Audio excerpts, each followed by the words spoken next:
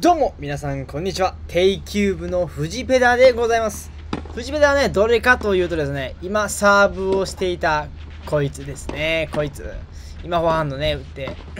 シャッターされたねこいつでございますけども。皆さんテニス楽しんでますか？私はねすごく今楽しんでおります。テニスがね本当に楽しすぎてやばいぐらい楽しいですね。楽しいしか言ってないですけど本当に楽しい。このバックハンド見てください。こんなバックハンド振れなかったんですよ僕。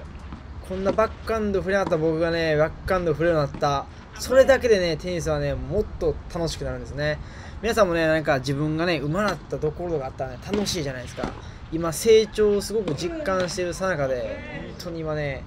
なんかテニス欲というかテニスめちゃめちゃしたいっていうかすごい高すぎてね練習相手すごい募集までねあるんですけどね。本当に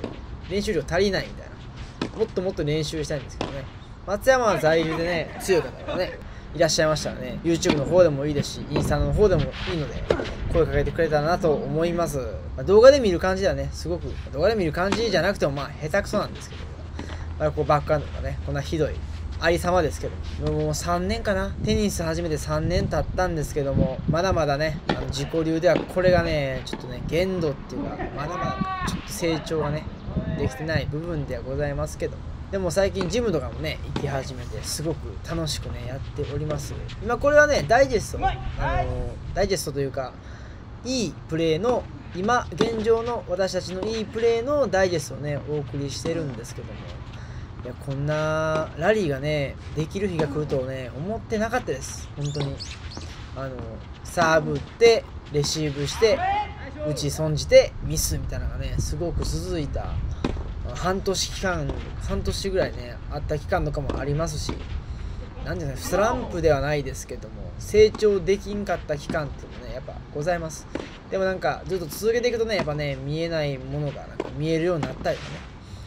前まで同じような動画見た見てたけどなんか見るところが変わって